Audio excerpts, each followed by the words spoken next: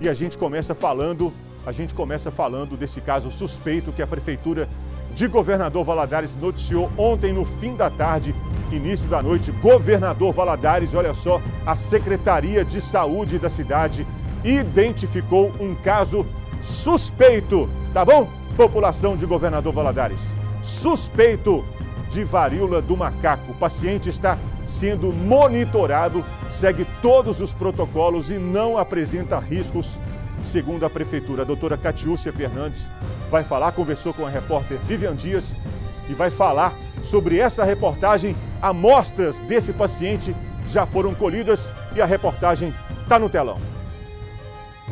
O paciente é um homem de 27 anos que recentemente estava fora do Brasil. Segundo a médica sanitarista Catiúcia Cardoso, o homem apresentava sintomas como febre e lesões na pele. Ele foi encaminhado a uma unidade de saúde e está em isolamento. São sintomas inicial, foram sintomas inicialmente inespecíficos, febre, dor de garganta e também lesões dermatológicas, lesões na pele. E a partir desse momento, o que foi feito? É, os, cuidados mais importantes, isolamento né, na internação hospitalar e o monitoramento não só do caso, mas do contato. A varíola dos macacos é uma infecção viral. A transmissão ocorre pela relação sexual sem proteção, contato com as áreas infectadas ou vias respiratórias. Ela ocorre de pessoa para pessoa pelas secreções respiratórias, também por contato com objetos recentemente é, contaminados e por via sexual, também contato sexual. O nome varíola dos macacos, ou monkeypox, como também é conhecida, se originou porque o primeiro caso da doença foi identificado em um macaco, em 1958. Segundo a médica sanitarista, não existe o risco de uma contaminação geral. Como é limitado ao contato, então, imediatamente, como foram né, orientados contatos, fica restrito aquele caso. A profissional alerta que as pessoas que viajam para o exterior, caso apresentem sintomas da doença, devem procurar uma unidade de saúde o quanto antes. As pessoas que fazem viagem para o exterior ou têm contatos com pessoas do exterior, no caso especificamente a Europa, a partir de 15 de março desse ano, é, caso apresentem sintomas inespecíficos, com as lesões de pele, é, que começam por uma pequena bolinha que ela estoura, que é a vesícula que estoura, evolui para o ritmo de úlcera, né, ou pústula, e depois é, para a crosta, que é a casquinha, e depois ela cai. Se acontecer isso com a pessoa, isso acontece ao mesmo tempo, em todas as lesões, se ela é, tiver tido esse contato com os países, né, e apresentar sintomas, ela deve procurar o serviço de saúde. Obrigado à médica Catiúcia Cardoso. Eu falei Catiúcia Fernandes, é Catiúcia Cardoso que conversou com a repórter Vivian Dias. Ô, gente, olha só, é um caso suspeito em Governador Valadares. Primeiro caso suspeito. ah, olha só, olha só, os sintomas aqui, já vou falar.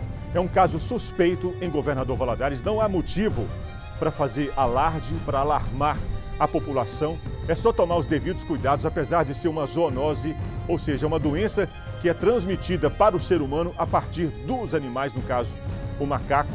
Olha só os sintomas, ó. Período de incubação da doença varia de 5 a 21, di a 21 dias. O vírus começa a se manifestar, a varíola do macaco tende -se a desenvolver da seguinte forma: primeiros 5 dias, febre, dor de cabeça, linfadenopatia, que é o inchaço dos gânglios linfáticos, dores musculares nas costas e cansaço interno. Isso do primeiro ao quinto dia após o aparecimento da febre. Aí tem outros sintomas aí, você depois acessa o, o Facebook da TV Leste, facebook.com barra TV Leste. Você está tendo sintomas parecidos com esses aí? É só você procurar um médico. E uma característica importante dessa doença, da varíola do macaco, são as lesões, né? As lesões que aparecem na pele. São lesões feias, né? Chamam a atenção, mas você está tendo algum problema na saúde, está tendo febre, está tá tendo dores, apareceu, apareceram lesões na sua pele, procura, procure a Secretaria Municipal de Saúde, procure um posto de saúde mais perto da sua casa. Se você tem algum plano particular, procure um hospital particular. Não é motivo para alarmar a população. Claro que a pessoa tem que se cuidar, a pessoa tem que tomar os cuidados. Mas é um caso suspeito as amostras desse paciente que fez uma viagem internacional já foram colhidas e encaminhadas para a FUNED, em Belo Horizonte. Daqui uns 15, 20 dias, até 30 dias, sai o resultado para confirmar se é ou não. Tem isso também, viu? Como é um caso suspeito, ainda é preciso esperar o resultado do exame para confirmar, ó, é varíola, do macaco, ó, não é varíola do macaco.